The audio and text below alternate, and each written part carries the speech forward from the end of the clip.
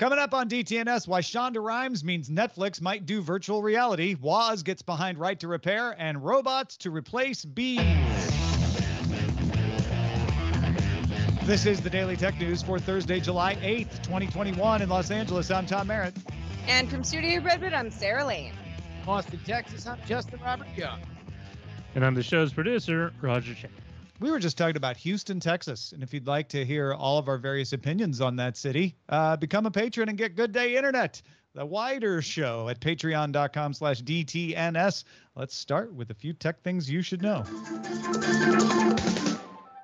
According to a research report by Boku, a London based fintech firm, Asia is set to lead the e wallets space globally, with Southeast Asia in particular gaining traction as growth slows in China. In the Philippines, around 50% use Gcash. In Malaysia and Singapore, GrabPay is number one. And in Indonesia, OVO sees 38% of user adoption. Grocery delivery app Instacart has named Fidji Simo as its new CEO. She was formerly the head of Facebook's mobile app and among the highest ranking female executives at Facebook, right after COO Sheryl Sandberg and Chief Business Officer Marne Levine. Simo takes over from Instacart founder Apurva Mehta on August 2nd, who at which point will transition to executive chairman of the board. A lawyer for Twitter told a Delhi High Court under oath that the company intends to fully comply with India's IT laws. Twitter said it already appointed an interim chief compliance officer with plans to name a grievance office by July 11th and open a local office within the next eight weeks. Moderna has started giving out its first doses of an mRNA based influenza vaccine called mRNA 1010. It's part of an early phase clinical trial that will target H1N1, H3N2, Yamagata, and Victoria strains of the flu. They expect to improve on the current 40 to 60% effectiveness of existing flu vaccines and be able to adapt to new strains quicker. If successful, Moderna intends to combine it with other mRNA based vaccines, possibly for COVID and two other respiratory viruses that don't have vaccines yet. If uh, that all happens, they'd combine it into one yearly shot. Qualcomm and Asus are releasing a smartphone for 1.6 million Snapdragon insiders. The phone will be available for everyone after insiders get early access. It has 5G, Wi Fi 6E, a set of master and dynamic earbuds, and of course, it runs on Qualcomm Snapdragon 888 5G chipset with 2.84 gigahertz octa core processor and the Adreno 6, 660 GPU. The phone will also include an 8K video camera not too shabby, but it will cost you $1,500. wow. All right. Uh, let's talk about something cheaper filing a lawsuit. Indeed, Tom, in the grand American tradition. A group of 37 U.S. attorneys general from states and the District of Columbia have sued Google in California federal court, alleging it unlawfully maintains a monopoly with the Google Play Store. Google requires Play Store apps to use its payment system for purchases made through the Play Store and announced it will begin enforcing this more strictly in September. It also lowered the commission from 30% to 15% for the first 1 million in sales and for video, audio, and ebook services. Google says the lawsuits are motivated by larger developers who want benefits of the store without paying for it and pointed out that most Android devices ship with two or more app stores, like Samsung's and Amazon's. The complaint notes that even so, Google controls 90% of the market for Android apps. No other Android app store has more than 5% of that market. That it prohibits other app stores from being accessed through the Google Play Store and prohibits competing app stores from buying ads on Google Search or YouTube. The complaint also claims Google offered to pay Samsung to stop pursuing exclusive deals for the Samsung Galaxy Store and pay developers not to remove their apps from the Play Store. Finally, the complaint alleges that Google misleads customers about the security of downloading apps from outside the Play Store and imposes technical hurdles. For those of you who are just catching up, here's the U.S. lawsuit count for Google. From August, Epic suing Google over its App Store terms. That one is scheduled to go forward in April of 2022. From October of uh, last year, the U.S. Department of Justice in 14 states accusing Google of dominating mobile search. And from December of last year, 38 states and territories accusing Google of dominating search. Also from December 15th, state uh, from December, 15 states and territories accuse Google of abusing power over ad tech. That is, for those of you keeping count at home, five ongoing lawsuits in the United States. Even I mean, are they laughing? Or so Well, who's laughing? The can they- lawyers. how long can they keep laughing in the face of these lawsuits, Tom? Uh, yeah, so let- let's run through this real quick. Uh, it's always about abuse of uh, monopoly power, not necessarily how big your market is. That's going to be Google's defense. They're not abusing it. People just choose them because they're better. Uh, it's going to be all this stuff about like, even if we pay developers, we have the right to do that because it's our app store and we're open and we let other people on, yada, yada, yada, yada. It's very similar to a lot of these other uh, court cases. Uh, we're going to be wading through these things for years. If you remember the Microsoft uh, breakup cases, those those went on for years as well. Uh, the one that is interesting here is the idea of accusing Google of misleading customers about security. That that's a newer wrinkle that I haven't seen trotted out uh, in legal terms quite as often. Uh, but but yeah, uh, I I don't think Google's surprised that they they got lodged a, a, another lawsuit. That's the the order of the day. They you go after Google, Amazon, Apple, and Facebook. um, you mentioned, uh, you know, whether or not Google was misleading uh, uh, potential customers about security. I mean, I don't, I I can't really think of where Google would be accused of that. When I you mean- try to download an app directly or you try to sideload, Google gives you some very stern sounding warnings that, hey, if you download stuff from outside of the Play Store, we can't guarantee that it's not malicious, et cetera, et cetera, et cetera. Uh, But so, isn't you know, that what they should be doing? I mean, I mean, what that's else? the question, Yeah, right? It's like it's all in the wording, I guess. But Yeah. yeah, it's not Nope. irresponsible to tell people that, especially folks who aren't as tech savvy as we are. Because by the way, Yeah. Apple does the exact same thing on their desktop Mac store, and they have had a robust and healthy independent app community for decades. Uh, but when they had the App Store, it became a a warning of, by the way, you're downloading this from the internet. It's very very scary. Yeah, if you're not dominating the marketplace, which on the Mac Apple is not, Yep. uh, then then it then there's nothing you can complain about. practices. Uh, uh, Yeah. I, the other big thing here is denying advertising. Uh, if that is something that is provable in court, then you are protecting a, a, a monopoly by way of the fact that you are also this ad search giant, which adds another wrinkle and does not exactly make you more sympathetic. That being said, Google makes a lot of money. They got a lot of lawyers. I think that they can continue to bear this for as long as these things come in. From the political side, if anybody thought that a crusade against tech companies was something that was only being done by a reckless and out of control Trump Justice Department, it seems as if that rumors were true even then. That it wasn't necessarily that there wasn't a desire from bipartisan, a bipartisan gathering of states and attorneys general to lodge these lawsuits, but rather a disagreement on exactly the tack to take. We are now seeing yet another one of these suits. Those similar ones uh, were, were launched last year. So uh, uh, it is time to pay the piper. We are officially at the the the reckoning time for big tech of their unfettered hooray. We've created a new sector of our economy. We're done with that. Now we're wondering about exactly how powerful we want them to be. Yeah, who wants to bet me a delicious bar of chocolate that there won't be another Google lawsuit filed against them?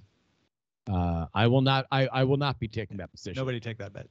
Uh, Louis Rossmann runs a popular YouTube channel, and he has been campaigning for the right to repair for years. Uh, the right to repair be- meaning laws that make it easier for you to fix your own stuff. He used the Cameo app. Remember, I was talking about Cameo, where you can like pay Paula Abdul to sing "Happy Birthday" to your friend. He used the Cameo app to pay Steve Wozniak for a personal message and asked him about the right to repair. Wozniak said in the video that has now been made public that he hadn't really looked into it as closely as he would have liked to until Rossmann's request.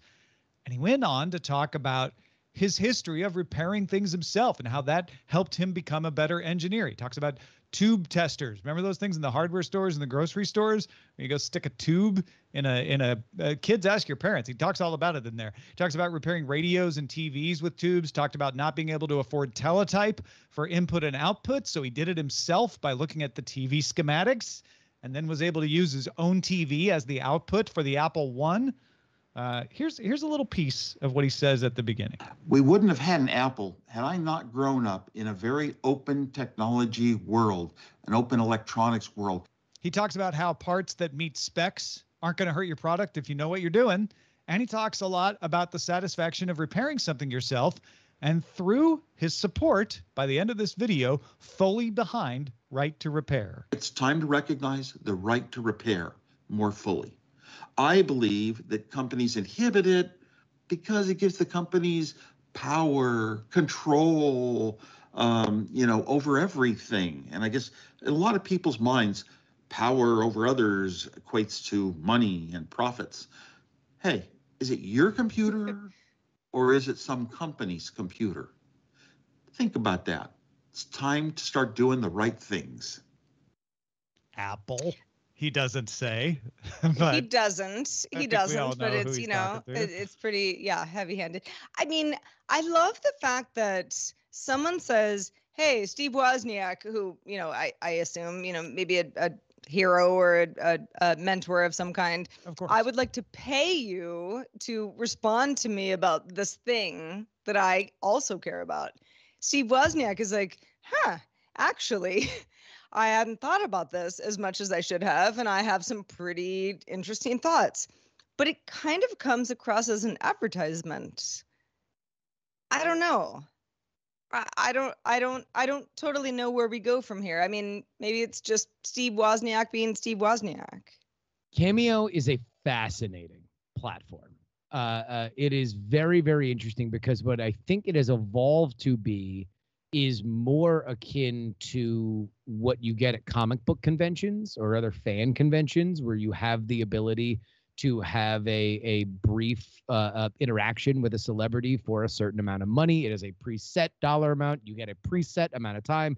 You have a small little conversation that you would like to have, and then you can take a picture and move along. A lot of these things where people will get their friends' bands, you know, a, a famous person to hold up a friend's band's T-shirts happens there, and so it is no surprise that Cameo as a platform has done stuff like this. That being said, I can also understand why it's happening from the Cameo side because I'm on Cameo. So I'm bookable. Justin R. Young, if you'd like to do it, uh, uh, uh, birthdays, bar mitzvahs, gender reveals, whatever you need, head on over to me. It's not quite as interesting as Steve Wozniak endorsing the right to repair, but uh, uh for for me, I did one yesterday actually, where I wished uh, a, a lovely young lady, Andrea, a happy birthday in the voice of R.L. Stine, which is a character that I've done on the internet for a while. But you can see where it gives you a lot of leeway when you're booking to write whatever you want and and to and to let people know it, it is very above board. I don't think that that anybody who's listening to this who thinks that Wozniak was was either tricked or or led down a path on this, it's not that. Uh, yeah, uh, no, I don't think so. Yeah, th- this this is very much you are in control as the person doing the cameo to say exactly what you want. But I I, I think with that being said, it has become a publishing platform, and, and the fact that these are uh, uh, downloadable for for uh, everybody, and in many times public. You can just public uh, uh, publicly make this. It is in its own way a bit of a vlog. Listen, man, Louis Rossmann uh, is a genius in promotion, and thankfully he's he seems to be using his powers for good. Uh, but he he has done a great job of getting his channel out there and using Right to Repair uh, as, as a great way to build an audience. Uh, I and I I don't I'm not when I say that I don't doubt that Louis Rossmann truly does believe in the right to repair and is campaigning for it. Uh, but this is a genius move because you could tell you could tell that Woz really hadn't like he was probably favorable to right to repair, but he really hadn't looked into it. Well, Rossmann just got him to look into it, change his mind maybe, uh, and become the face of it. Now this went from oh that that YouTube guy Rossmann promoting this to Steve Wozniak from Apple promoting it. And I can't. I mean, Wozniak is still technically on the payroll. He gets paid like fifty bucks a week. It's it's it's you know nominal, but he's still on the payroll at Apple. And so I, I uh, I I think. I think this has leveled up the discussion of right to repair. We already had an executive order being drafted by the White House. Uh, Europe is talking about right to repair law, so it's it's not like it was a, a you know shrinking violet of an issue in any way. But th- this has certainly pushed it a little farther down the road. I think. Well, would you all like to talk about bees versus robots? Yeah. Good. I'm not allergic to robots. I thought you might. The Wall Street Journal's Future of Everything series has a story about replacing bees with robots for crop pollination. Australia's Costa Group Holdings will deploy robots to pollinate tomatoes in a greenhouse. Israel's Arugga AI farming has developed the robots, and the company used deep learning to train a neural network to recognize flowers for pollination. So the robots don't fly, they mm. actually roll. A pedestal that can extend up to 13 feet high goes down rows in the greenhouse. So when the cameras detect the flowers, they blast air at them, circulating the pollen. Normally, greenhouses use bumblebees, but bumblebees are hard to get in Australia. So the robots will replace human workers and those human workers are usually paid to shake leaves with a vibrating wand because, you know, that's what you got to do. A test of two of Arugga's robots did as well with the humans. A Kentucky company called AppHarvest tested Arugga's bots as well. Bumblebees that are easy to get in the US, but bumblebees are easy to get in the US rather, but the concern there is that a tomato plant virus is spread by the bees, so that's an issue. The robots never touch the plants and are less likely to spread the virus in this case. Arugga hopes to improve the algorithm to make it more than manual and bee pollination and add other capabilities like pruning. The robots cost about one ten thousand uh, dollars each to manufacture, so not cheap, but over time one can see how this would be beneficial. Other companies, including Edete, Precision Technology, Bumblebee AI, and several universities, are also developing similar systems for other crops. Yeah, this is this is fascinating. Uh, uh, I had no idea that bumblebees were rare in Australia. Uh, I did know that Australia had very strict rules against bringing in uh, wildlife from other parts of the world. So I could see why it would be hard to get uh, bumblebees. But I also didn't know that they paid people to shake plants in order to pollinate uh, in a greenhouse. So that does feel like something you could easily get a robot to do.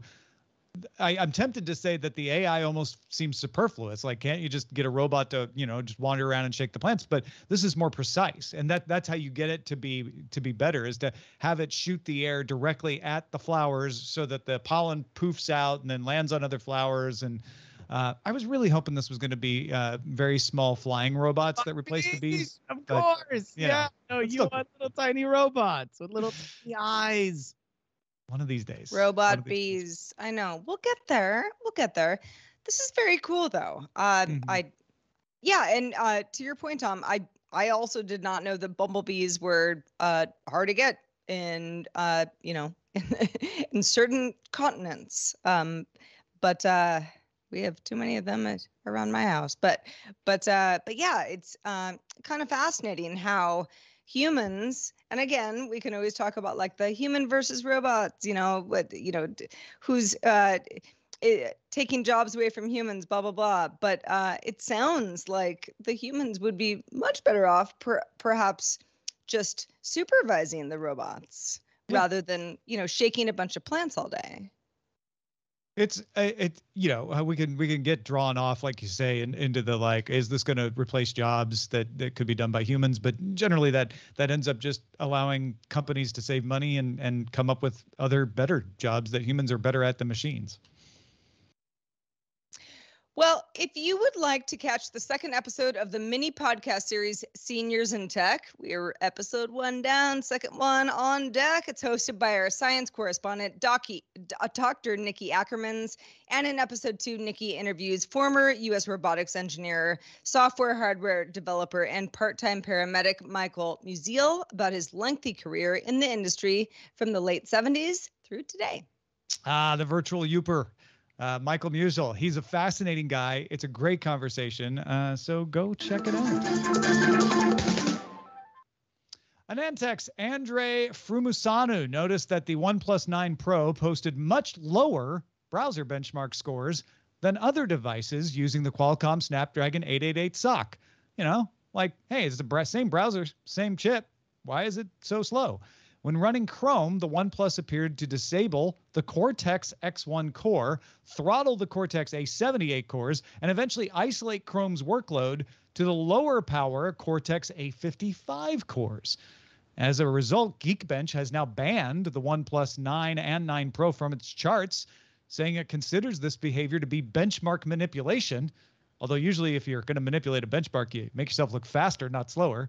In a statement to XDA developers, OnePlus said, following the launch of the OnePlus 9 and 9 Pro in March, some users told us about some areas where we could improve the device's battery life and heat management. And so, it matches 300 of the most popular apps on Android, including Chrome, with what OnePlus considers appropriate power. OnePlus added, quote, while this may impact the device's performance in some benchmarking apps, our focus, as always, is to do what we can to improve the performance of the device for our users. So OnePlus is betting that the average user won't notice a slowdown, but will notice better battery life and will not care one bit if it doesn't get a benchmark from Geekbench. I, and I think they're right here. In fact, I almost wonder uh, whether or not in a world where a lot of cell phone cell phone technology is commoditized in, in a level that it was not 10 years ago, that it was not, uh, uh, you know, even five or eight years ago. Uh, if we are not at a point where things are taking substantial leaps forward and you're making these kinds of decisions based on things that consumers do care about. My phone doesn't, my phone's constantly dying. My phone's too hot in my pocket. Uh, isn't that something that should be taken into consideration as opposed to figuring out how fast you can run it as if you're Dom Toretto trying to race for pinks? Andre Frumusanu, uh, for the AnandTech guy who first noticed this, uh, was like, I actually didn't even notice that the browser was slower. I did a side by side comparison with the Galaxy S21 and I could then I could tell and now I can't unsee it. But it is that weird thing of like, yeah, I mean, I guess it really didn't make a difference, but it also messes with the standard by which you compare phones with each other. But is that is that a problem with the standard or a problem with the phone? I I I don't know. I you're you're swaying me over to OnePlus's side. I don't like the idea of of messing you know th- give me the choice that's what i would say give me the choice to turn it off to say you know what don't man i don't care if i take the battery life hit let me just have it run the way it's spent to and then you can do a benchmark and everything is compared don't do it for me that's i think where oneplus is is running a, uh, into a little bit of friction i don't know I, that that to me seems like a, a decision that is made all the time of whether or not it is going to go as fast as it possibly can go versus battery life. Uh, Make it on by default. That's fine. Just give me a little checkbox where I can turn it off. Yeah, I mean, okay. Or maybe just don't buy a OnePlus phone. It's not like there's not a billion other phones that you can have. Or the checkbox. All right. Don't waste your time, Tom, making deals with TV powerhouses like Shonda Rhimes that you don't expect to benefit from that's okay. one of Hollywood's oldest laws. and so Netflix, following it, said that they've expanded their deal with Shonda Rhimes to invest in her programs to diversify Hollywood, open the door to feature films, and exclusively produce and distribute potential drumroll please gaming and VR content. Yes. That's right. Netflix and Shonda Rhimes have a deal to make virtual reality stuff. This uh, would uh, take it well beyond occasional experiments like interactive storytelling and into the gaming world for real. Netflix's Greg Peters indicated in April that Netflix thinks, quote, games are going to be an important form of entertainment and an important modality to deepen the fan experience, end quote. Now, Netflix has been dabbling in games. They have their Bandersnatches, they have their mobile Stranger Things stuff. But this seems to indicate that maybe Netflix might be planning to make games, like be a studio. And it certainly would be the first time Netflix has ventured into VR. They've almost steered away from VR. They they have an app on the Oculus Quest, but it's not optimized for VR. It just slaps you in a in a virtual theater, and everything else. Well, yeah. And the whole sort of like, oh, getting into VR is like there are Eh, you you see a lot of you know companies saying oh here's a vr uh, companion to this series that you might have liked very much kind of thing which is not a bad thing but eh, that is not the same thing as a standalone vr experience i would be very interested to see what this looks like especially because I mean, Shonda Rhimes, you know, just it, it like you said, uh, a, a powerhouse. Um, this this is a uh, definitely a production house that is very good at what they do. But what would VR look like? Uh, it would look like whatever Shonda Rhimes wants it to look like. Virtual Bridgerton. You That- can you well, can uh, wander well, around. fine, but like, is that something that as a VR enthusiast I will enjoy? You know, like I I want to see. Like, show me what you got.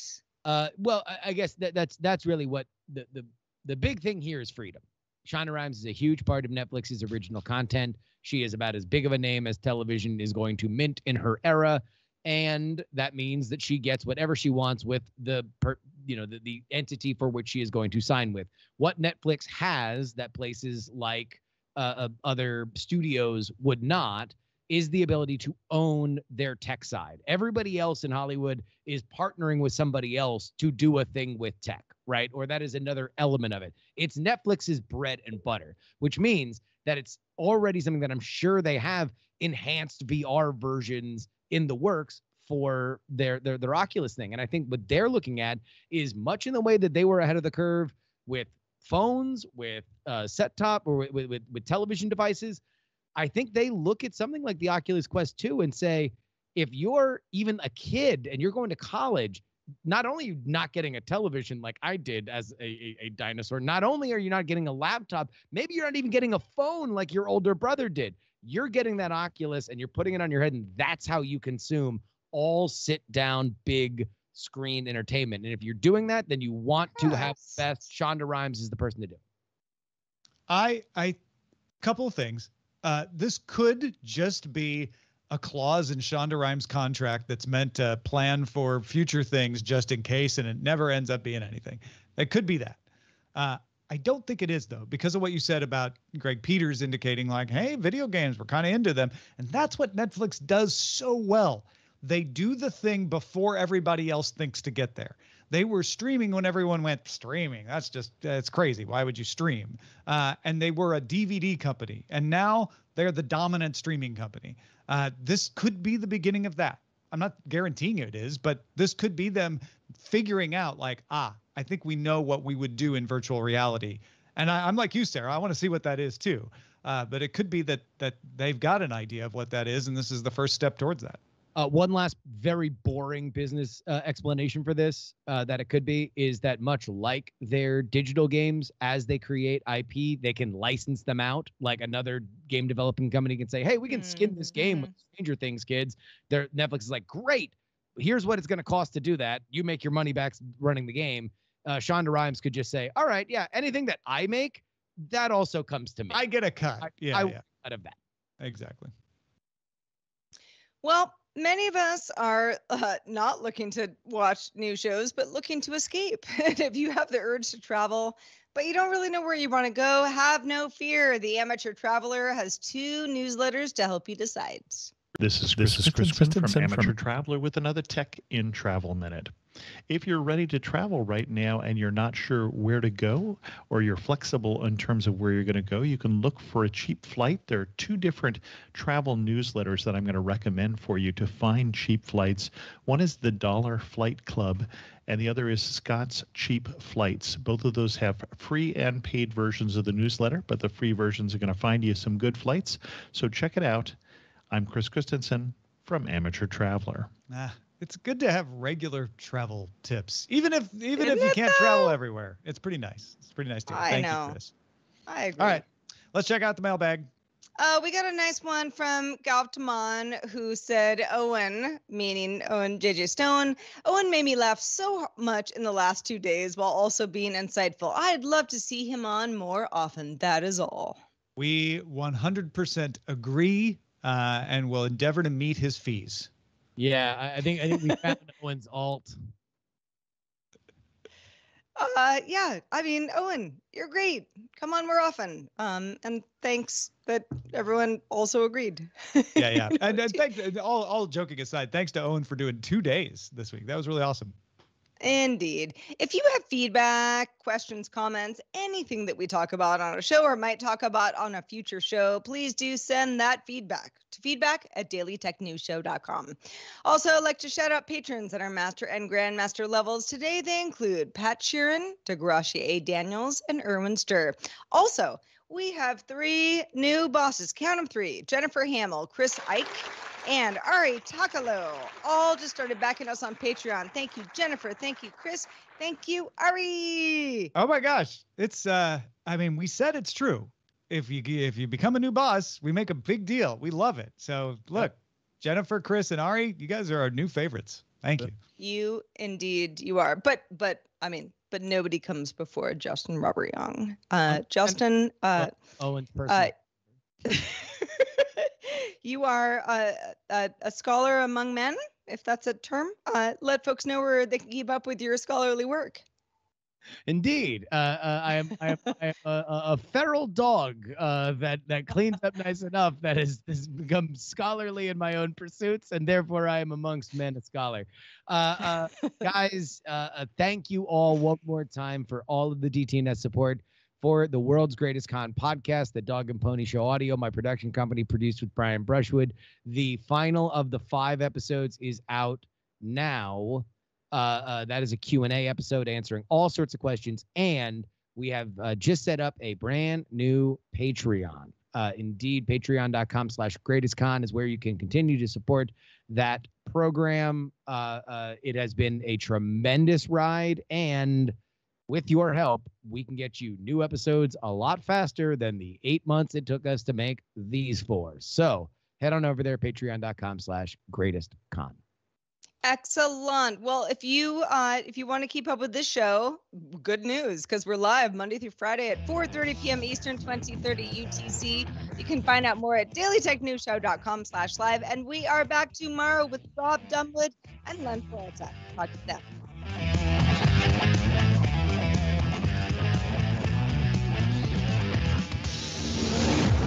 This show is part of the Frog Pants Network.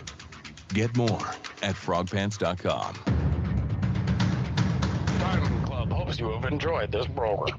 It's time to recognize the right to repair